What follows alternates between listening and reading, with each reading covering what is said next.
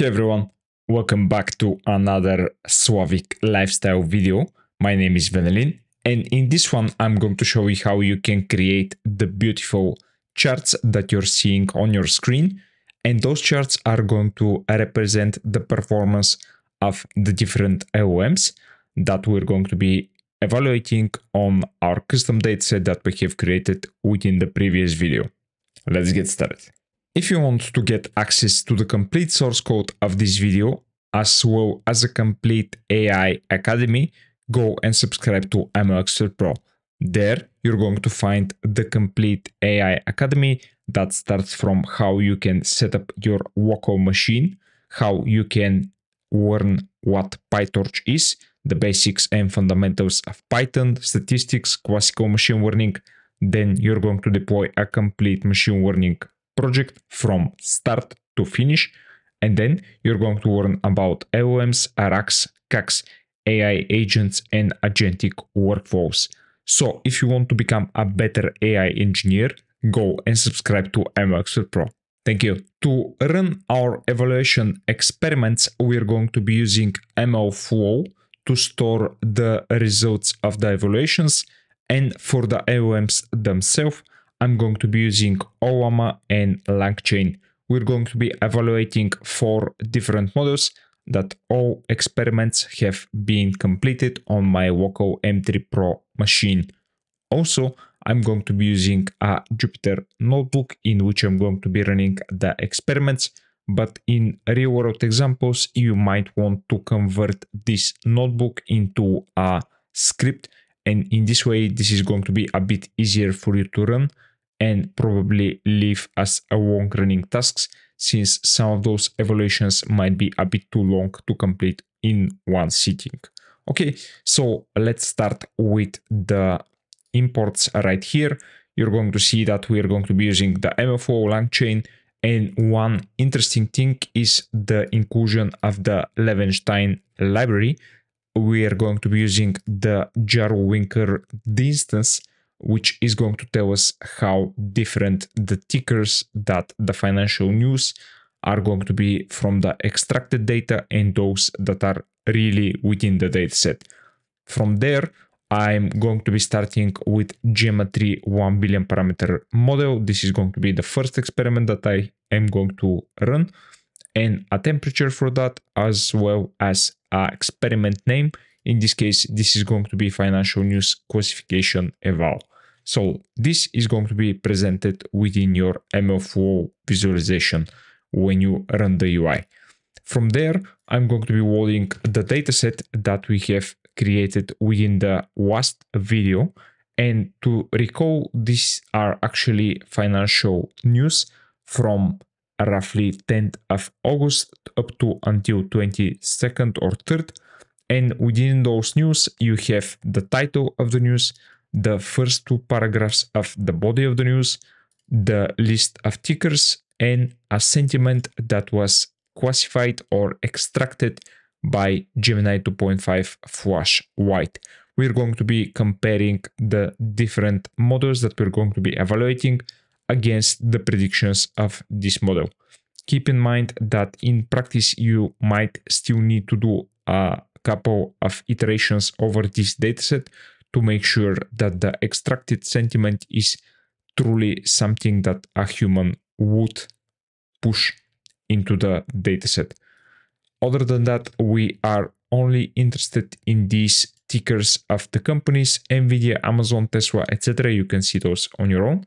So keep that in mind that we are going to be requiring the LLM to extract only from these tickers. From there, I'm using the init chat model to run the model connection to my local Ollama instance. And keep in mind that I have already downloaded all of the available models that I need for the evaluation. From there, I'm going to be creating this structured uh, response that is actually a Pydantic based model. I'm going to be setting the sentiment possible to extract positive, neutral, or negative, and then a list of tickers that the model is going to be evaluating and extracting for us. After you run this, you need to call LM dot with structured output, and this will help the OLLAMA instance via the LangChain implementation to return the responses of the model only within the JSON provided right here. So the prompt is very similar to what we had within the dataset building video, but the difference here is that I'm also specifying the valid tickers that the model need to extract from. So we're reducing the amount of tickers that the model can choose from, but this is done only within the prompt. Of course, you can, uh, for example, enforce this in a bit of a stricter way by providing, for example, a list of enums here. I haven't tried this, but uh, it should work and this might actually help you a bit with the evaluation of these models. So this is the example response, the sentiment and the tickers. So after I run this, I'm going to show you the first row within the dataset. Uh, this is exactly again from the dataset that I have just shown you. Then to format our prompt, uh, this is going to be the classify prompt dot format. Uh, here I'm going to be letting the title, the text, and then the list of the valid tickers, which are going to be provided right here within the prompt. So then I'm going to be running my Woko instance and get an instance of the analysis that we're going to get. And this is the prediction that the model gave us along with the NVIDIA, Amazon, Tesla, Meta, etc. tickers that the model has actually uh, outputted. And as you can see, this is not a very good, uh, at least as uh, the amount of tickers that we got, it pretty much gave us the response with, I believe, pretty much all of the available tickers. So this is a 1 billion parameter model. I wouldn't expect for such a small model to be always correct. This is why we're doing the evaluation, of course. And here also you can see that the title here is this one stock market week ahead, Nvidia dollar stores and Canada's big five banks. So we can actually check the raw sentiment here. In this case, the prediction is very on point we are comparing it within our dataset value, which also is neutral. On the only ticker here is NVIDIA, but uh, here we're getting the list of tickers. The actual evaluation is going to be comprised of two parts. We're going to be evaluating both the sentiment and the list of tickers that we got from the prediction and compare it with the values from the dataset. First, I'm going to be starting with the sentiment metrics. Here, I'm measuring a couple of things, accuracy, precision, recall, and F1 score.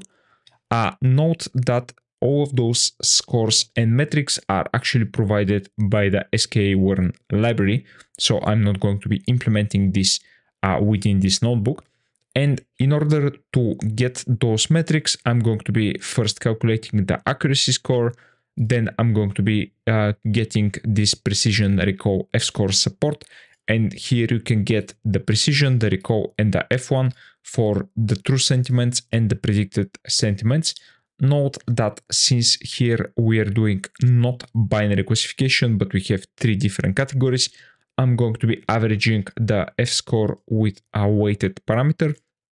And if we get a zero division a warning or exception, uh, I'm going to be replacing that with zero.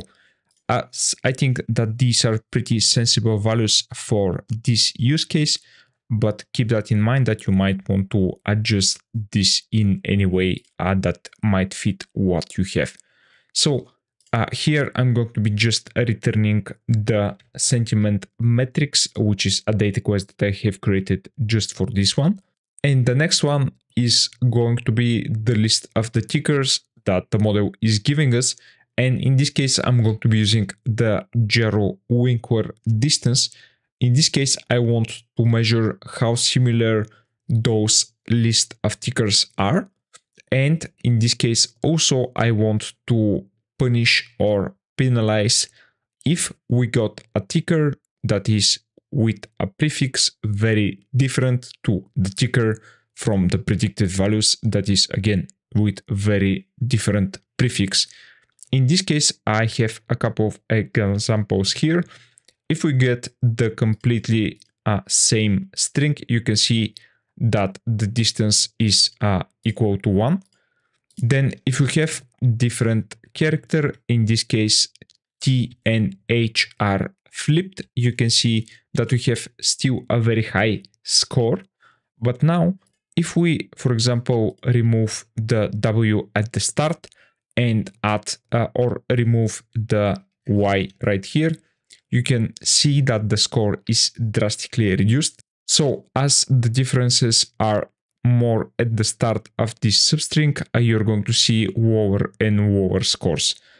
And uh, again, for something that is completely different, we're going to be seeing that since these two strings don't have common characters, their distance, again, by Jaro-Winkler distance is equal to zero.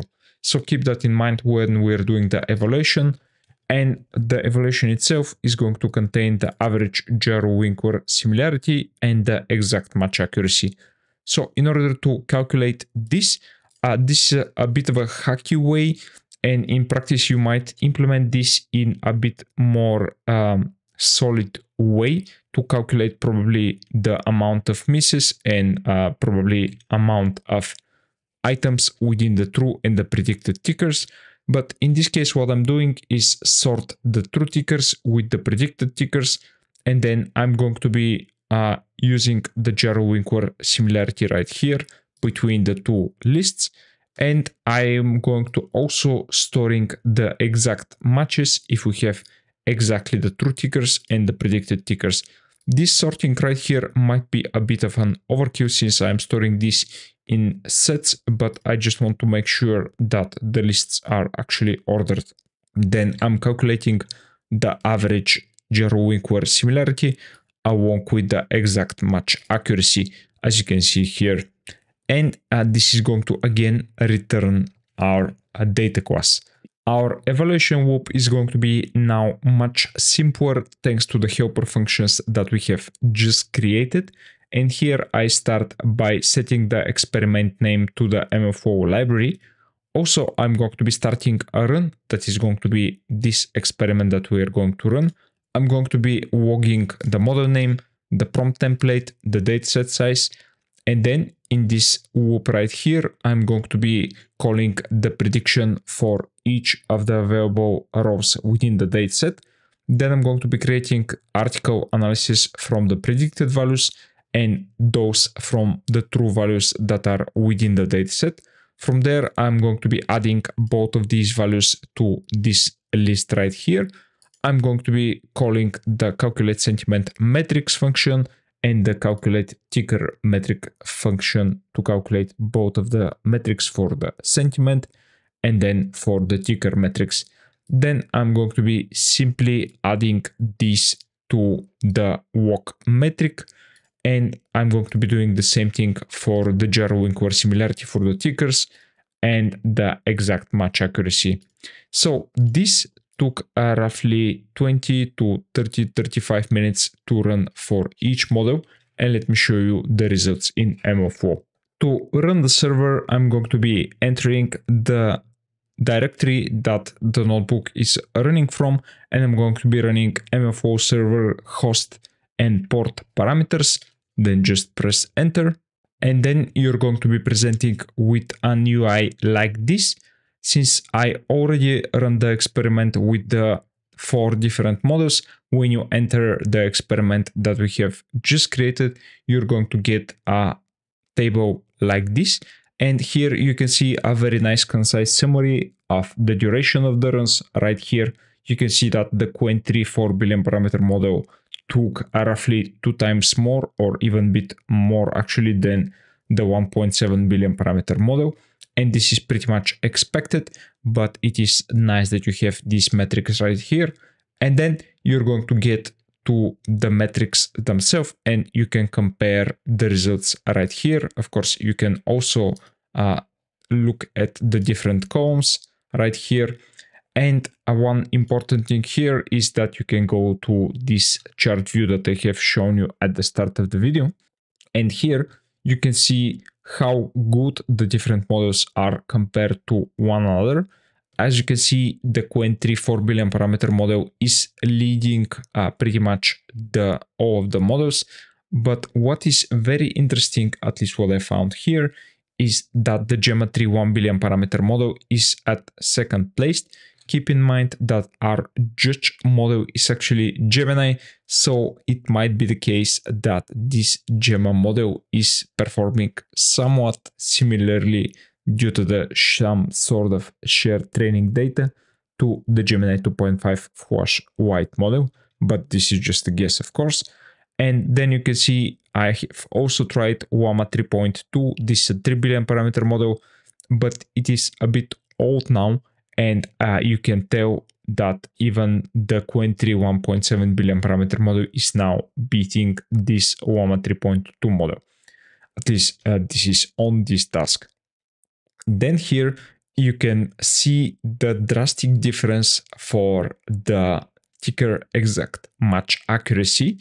And uh, here you can see something a bit surprising that the Qwen 3 uh, 1.7 billion parameter model is actually uh, performing the best. Then we have the 4 billion parameter model and we have some small values here for the Gemma and the Llama 3.2.